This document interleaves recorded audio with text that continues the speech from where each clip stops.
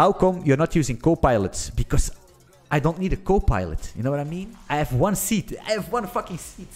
You know what I mean? One seat. There's one, one place here. You see? Look at this. One place.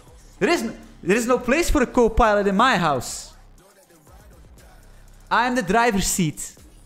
There is, there is no AI. There is no nobody else.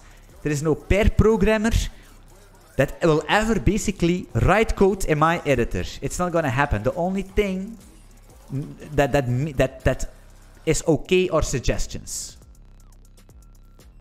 Like these these these uh, you see like this var enter. That's the only thing. It's just because I'm lazy, right? I don't want to have bytes in my program that I did not think of. Because what a lot of people don't understand is that they think, uh, I, on Twitter, for example, it's I need to ban these guys every single day, right? And it takes me a lot of time, and I do it when I'm taking a shit at the toilet. I'm banning these boys, these Chat GPT and Copilot boys, right? Because they say, oh, and look at this, I have no coding experience, and I made a Flappy Bird game by Chat GPT 4, whatever it is. Maybe it's 5 uh, in a couple months, who knows, right? But do we, does he know how to make that game now? No. No, he didn't.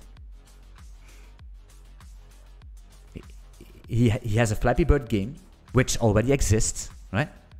Which already exists. It's made by Chat by Chat GPT-4, and he has no coding experience. What benefit does he has in his life, right? Nothing, because he don't know how to program. Also, he, he, also after after thing, he doesn't know if you want to make a special Flappy Bird game with special mechanics, with special um, new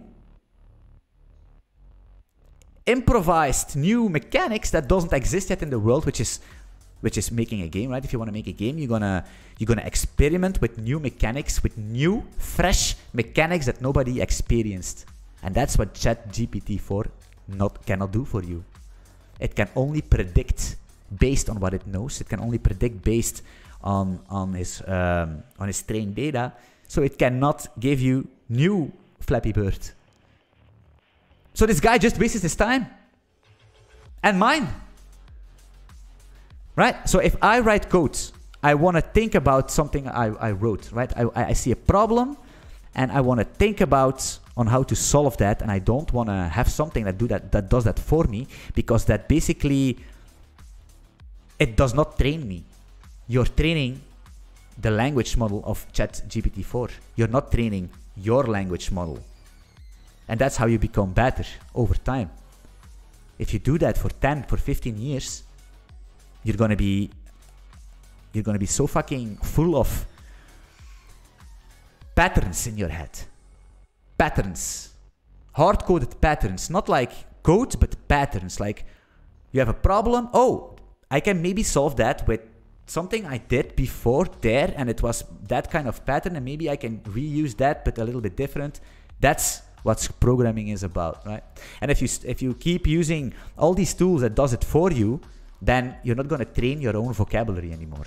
You're not going to train your logical thinking. You're going to be stupid. You know what I mean? It's although I use I use I, I use ChatGPT GPT four myself, a three actually. I use it myself, but for, for for more, I use it as a Google replacement, right? For example, if I I was basically doing my Vim configuration, and I wanted to know something how I could set uh, what was it some some simple option.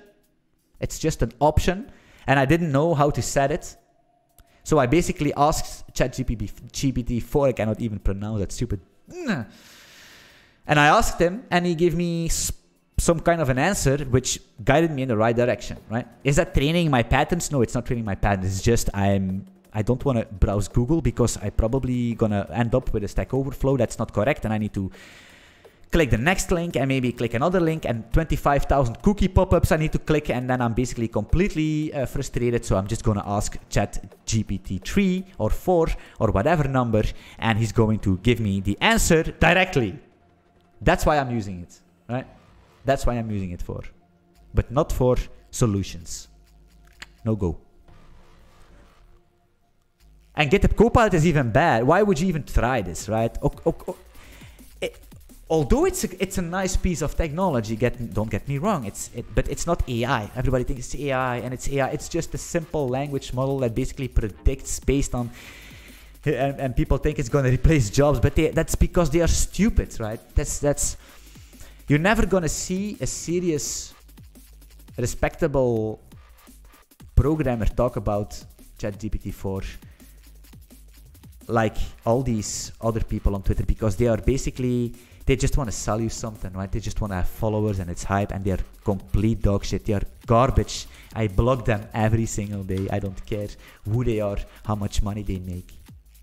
You suck, right? Simple.